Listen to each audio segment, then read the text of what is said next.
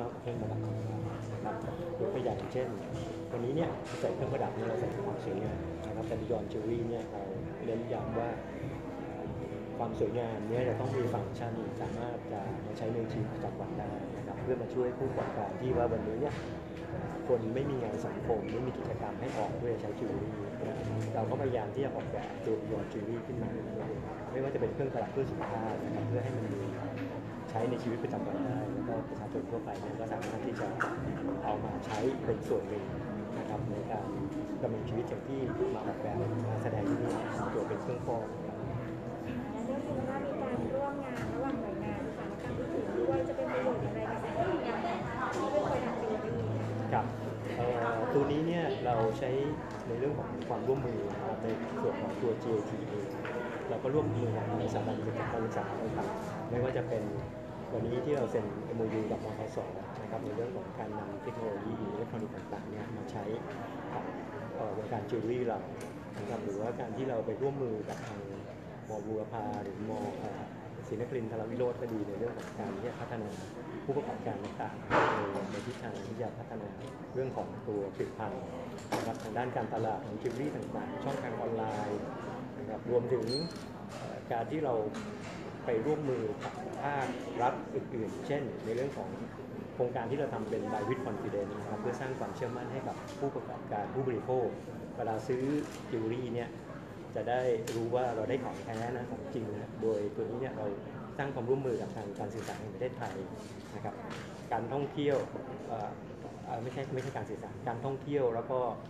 ในส่วนของสำนักงานคณะกรรมการคุ้มครองผู้บริโภคแล้วก็กรมการท่องเที่ยวนะครับ การหาลับปัจจัยสำคัญในการผลิตจิวเวลรี่ในยุค New Normal แบบนี้มีปัจจัยอะไรบ้างคะครับเออวันนี้เนี่ยกลุ่มผู้ประกอบการเนี่ยจะจะมีผลกระทบค่อนข้างมากนะครับ แล้วก็ตลาดที่เป็นตลาดที่เป็นไฮจิวเนี่ยจะค่อนข้าง มีผลกระทบจากการที่มีนโยบายล็อกดาวน์ของรัฐบาลทุกประเทศ ประเทศไทยเราในฐานะที่เป็นฐานการผลิต OEM ฐานใหญ่อันหนึ่งเนี่ยเราหลีกเลี่ยงไม่ได้ที่จะรับผลกระทบอันนี้ วันนี้ตลาดเนี่ยเรา move ขึ้นไปบนแพลตฟอร์มออนไลน์นะครับสินค้าที่ขึ้นไปขายบนโครงการออนไลน์เนี่ยส่วนมากจะเป็นจิววี่ที่ในราคาจะเป็นระดับกลางๆนะครับเพราะฉะนั้นตลาดที่เป็นไฮจิวเนี่ยเราก็พยายามที่จะหาช่องทางอยู่ให้เขาแต่ตัวออนไลน์เนี่ยเราก็พยายามที่จะ พัฒนาแล้วก็ผลักดัน โดยเราทำร่วมกับโครงการ Buy with Confidence ซื้อด้วยความมั่นใจ เพื่อที่ให้ผู้ประกอบการ สามารถที่จะขายสินค้าให้กับผู้บริโภคด้วยความมั่นใจได้นะครับว่าผู้บริโภคเนี่ยเข้าไปซื้อเนี่ยก็มีความมั่นใจว่าเราเป็นหน่วยงานของรัฐที่เข้ามาในการตรวจสอบในการออดิตว่าชิ้นงานที่คุณซื้อไปเนี่ยมี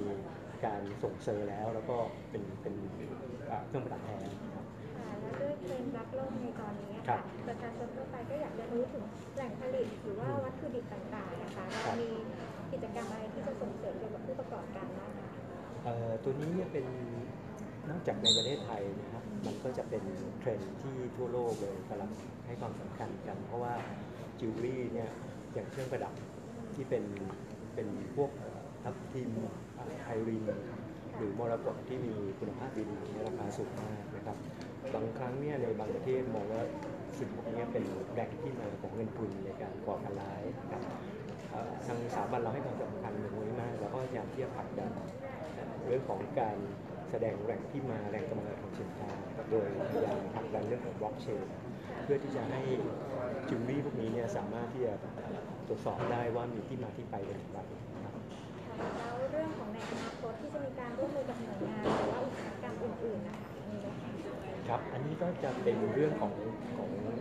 ตามภารกิจของของสถาบันนะครับเราจะต้องส่งเสริมอุตสาหกรรมตรงนี้เอ่อสิ่งหนึ่งที่เราพยายามพัฒนาต่อเนื่องก็คือการสร้างความร่วมมือนะครับกับหน่วยงานการศึกษาหรือว่า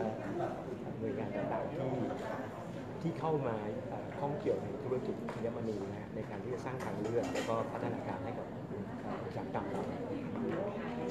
สุดท้ายนี้นะคะครับท่านทิ้งท้ายเรื่องของมุมมองวิสัยทัศน์ค่ะเกี่ยวกับอุตสาหกรรมอัญมณีเครื่องประดับที่มีอยู่ตอนนี้และอนาคตด้วยค่ะครับเอ่อประเทศไทยเราเนี่ยส่งออกเครื่องประดับเป็นอันดับ3นะครับรองจากรถยนต์กับคอมพิวเตอร์ แต่พอปีนี้มีโควิดขึ้นมาเนี่ยมูลค่าการส่งออกระโดดขึ้นมาเป็นอันดับหนึ่งนะครับเพราะมีอันนี้ส่งส์จากทองคำ นะครับทองคำเราโตร้อยกว่าเปอร์เซ็นต์แต่จริง ๆ แล้วเครื่องประดับเนี่ยกระทบค่อนข้างมากนะฮะเราโตลงไปประมาณ 40เปอร์เซ็นต์นะครับแต่ขณะเดียวกันเนี้ยเราก็มีการตรวจสอบเทรนด์ในทั่วโลกนะครับในประเทศที่เป็นผู้นำเข้าหลักๆเนี่ยยังนำเข้าจากประเทศไทยเป็นระดับหนึ่งอยู่เพราะฉะนั้นในในสัดส่วนของการครองตลาดเนี่ยเรายังอยู่ในสถานะที่ดีนะครับมูลค่าการค้าที่ตกลงไปเนี่ยเนื่องจากสถานการณ์โควิดที่เกิดขึ้นผมเชื่อว่าตัว ธุรกิจอัญมณีและเครื่องประดับเนี่ยเทรนด์มันจะเป็นจะจะมีแนวโน้มค่อนข้างดีอย่างยกตัวอย่างประเทศจีนนะครับ ช่วงที่เขาปลดนโยบายล็อกดาวน์ลงไปแล้วเนี่ยจะเห็นว่าธุรกิจที่เป็นพวก luxury item เนี่ยกลับมาบูมมากนะยอดขายถล่มทลายกัน แล้วก็คนคนเราเนี่ยคือเครื่องประดับเนี่ยเป็นสิ่งที่จะลงเรื่องของความสวยงามนะครับเป็นเป็นสิ่งที่มาสร้างมูลค่าหรือแสดงสถานะของผู้ใช้ ถ้าสถานการณ์กลับมาปกติผมคิดว่าประเทศไทยเราเนี่ยยังมีโอกาสที่จะกลับพลิกฟื้นขึ้นมานะครับเป็นผู้นำในเรื่องของการค้าอัญมณีโลกได้แล้วก็ตลาดเมืองไทยเองเนี่ยผู้ค้าต่างๆเนี่ยก็พยายามที่จะ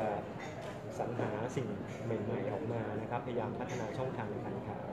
แล้วก็ GIT เราปีนี้ก็ก็เช่นกันนะครับเดือนเดือนหน้าเนี่ย ที่16นะครับถึงถึง10ถึง20เนี่ยเราก็จะมีงาน Buy with Confidence Fair ที่สามย่านมิตรทาวน์นะครับเราก็จะดึงกลุ่มผู้ประกอบการนะครับเอาสินค้ามาจำหน่ายในราคาที่เรียกว่าอาจจะเป็นผู้ผลิตพบผู้ซื้อเลยโดยมี GAT เนี่ยเข้าไปตรวจสอบตัวสินค้าที่ขายในงานให้แล้วก็สิ้นปีนี้เนี่ยเราก็จะไปจัดงานใหญ่ที่จันทบุรีครั้งหนึ่งเทศกาลนานาชาติและพลอยพลอยและเครื่องประดับนะครับซึ่งจะจัดวันที่ 18ถึง22 เป็นช่วงที่อากาศกำลังดีมากเลยที่จันทบุรีแล้วก็เอ่อท่านจะได้ลงไปเอ่อจับจ่ายใช้สอยกับเครื่องประดับหรือว่าพลอยจากผู้ประกอบการจากช่างเจียแท้ๆที่จันทบุรีนะครับ จะได้ของดีแล้วก็ราคาถูกมากครับเชิญชวนทุกท่านด้วยนะครับมีอะไรเพิ่มเติมไหมก็สอบถามว่าหลังจากโดนต้นแบบนี้แล้วอะค่ะครับเราจิวเวลรี่การมีแนวทางให้ให้ผู้ประกอบการเข้ามา ใช้นวัตกรรมนี้ในโรงงานอันนี้อย่างเอ่อตัวหนึ่งนี่คือทางเราก็มองว่าเราก็พยายามที่จะ implement ตัวนี้นะครับเข้าไปในทุกช่องทางทุกสื่อนะฮะนอกจากการแถลงข่าววันนี้แล้วเนี่ยเราก็คงจะเผยแพร่ออกไปในใน social network ทั้งหมดนะฮะลงในนิตยสารต่างๆ เพื่อให้เป็นทางเลือกหรือว่าเป็นช่องทางสำหรับผู้ประกอบการนะครับในการที่จะรีบปั่นตัวเองกลับมา ไม่จำเป็นจะต้องเปลี่ยนลายนะครับแต่ว่าเป็นอีกทางเลือกหนึ่งช่องทางหนึ่งเพื่อที่จะมาเพิ่มช่องทางการตลาดหรือว่าถ้าถ้าการพลิกฟื้นขึ้นมาตรงนี้เนี่ยถ้าดีไซน์เขาถูกเทรนด์กับตลาดนะครับผมว่ามันจะเป็นทางรอดที่ที่จะพลิกฟื้นสถานะได้รวดเร็วมากแล้วก็อย่างที่เมื่อกี้เล่าให้ฟังว่าได้มีการคุยกับมทสเนี่ยเขาก็พร้อมเต็มที่ในการที่จะผลิตตัวชิ้นส่วนนี้ให้ แล้วเราก็มีเงินโครงการรณรงค์ต่อว่าเราจะทำให้มันตัว ตัวอิเล็กทรอนิกส์ชิ้นส่วนตัวนี้ให้มันเล็กลงแล้วก็สามารถที่จะดีไซน์เครื่องประดับที่มันขนาดเล็กลงไปแต่มูลค่าเท่าเดิมนะครับก็คือผู้ผู้ประกอบการรายใดก็สามารถเข้ามาใช้ตัวเทคโนโลยีได้นวัตกรรมนี้ได้ครับผมเพราะอย่างอย่างที่เรียนนะ GIT เราจะเป็นเอ่อเอ่อองค์กรที่เข้ามาในเรื่องของส่งเสริมแล้วก็พัฒนาอุตสาหกรรมตัวนี้ อันนี้เป็นการจุดประกายเอ่อ วัตถุประสงค์เราจริงๆเนี่ยเราต้องการทำแมทชิ่งให้ทางผู้ประกอบการเนี่ยได้รู้ว่าวันนี้เนี่ยทิศทางต่างๆหรือว่าได้รู้จักมพสได้รู้จักนักออกแบบเรานะครับ ถ้าเขาไม่ได้มีเอ่อแนวทางหรือว่าไม่มีนักออกแบบที่จะมาพัฒนาตรงนี้ คนที่เราเจอมาวันนี้เนี่ยทุกท่านเนี่ยก็อยู่ในในโครงการนี้ร่วมกันก็สามารถที่จะเป็นผู้ที่จะผลักดันให้มันเกิดคือมาดูความร่วมมือของระหว่างหลายหน่วยงานที่มาเพื่อให้ผู้ประกอบ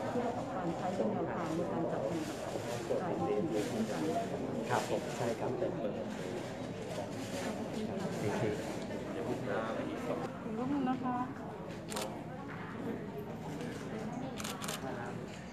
เขารวมสองข้างเลยครับ